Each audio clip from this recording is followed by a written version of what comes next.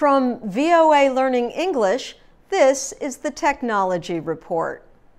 Learning to play the guitar requires a lot of practice, hard work, and in the beginning, hands that hurt. Playing the air guitar is a lot easier. Without holding a real guitar, you copy a musician's hand and arm motions. But that does not produce any sound.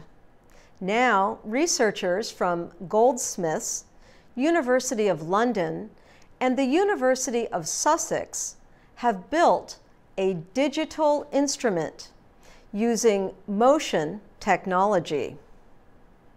It turns air guitar motions into music. Suran Goonatilake is co-founder of Kurv Music. They developed the digital air guitar. He says they started by mixing different motion devices like gyroscopes and magnetometers. They combined that with a mobile phone. The mobile phone has the power to play music combinations as a person motions them. This is how it works.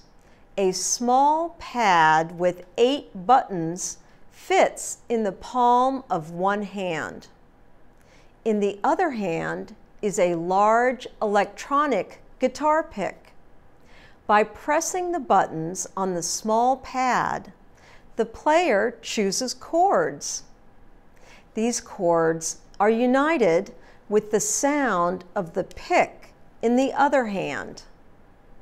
The sound of the pick is sensitive to the energy of the arm motion. The guitar connects to a speaker through a smartphone or a tablet using Bluetooth. Jack Fuller is with Kurv Music. He says that with just a few minutes of practice, someone who has never played a guitar can play simple music.